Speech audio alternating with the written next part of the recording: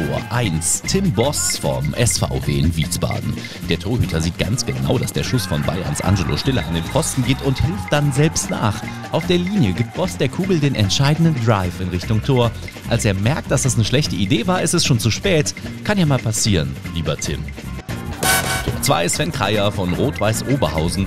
Positiv, er hat die Nerven in der 94. Minute zum möglichen 1-1 vom Punkt anzutreten. Negativ, der Elfmeter ist wirklich kein Kunstwerk. Aber weil Essens Torhüter Daniel Davari den Mut seines Gegenspielers auch belohnen will, lässt er die Kugel kurzerhand durchflutschen. Auch Elfmeter können wahrlich Kacke sein. Tor 3 Robert Andrich von Union Berlin.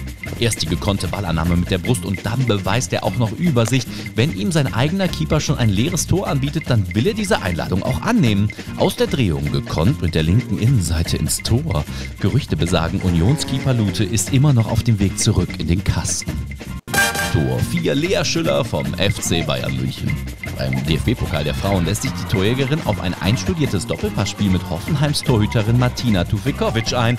Was Schüller ihrer Gegenspielerin aber nicht verrät, sie sollte den Ball nie zurückkriegen. Wirklich gemein oder genial. Tor 5 Ivan Michaljewitsch vom TSV Steinbach. Beim ohnehin schon gescholtenen Gegner Offenbach gibt Torhüter Stefan Flauder sein Bestes, einen Freistoß noch abzuwehren. Michaljewitsch ist das herzlich egal.